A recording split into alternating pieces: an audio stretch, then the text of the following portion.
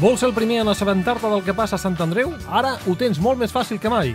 Tan sols tens que enviar un WhatsApp al telèfon 694 49 14 59 amb el teu nom i rebràs totes les notícies directament al teu mòbil. Així de fàcil. Sant Andreu Televisió, més a prop teu.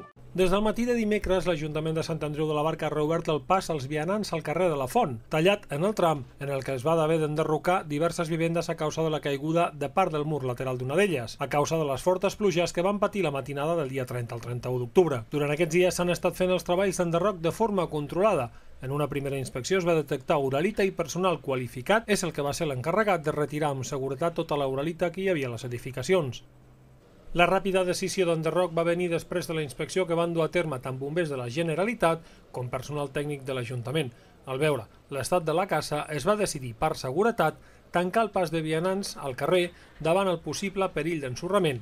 També es va decidir desallotjar els veïns de les cases del mateix tram afectat per les vivendes. Com dient, tant el pas de vianants pel carrer de la Font que ja està reobert, com els veïns que ja han pogut tornar al seu domicili, s'ha efectuat sense complicacions. Així mateix els negocis que han romàs tancat ja podien reobrir al públic.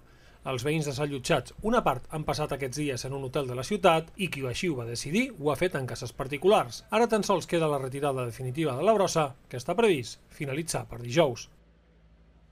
Pues ya lo sabes, cuando te pregunten cómo te has enterado, tenlo claro. Di por San Andreu Televisión.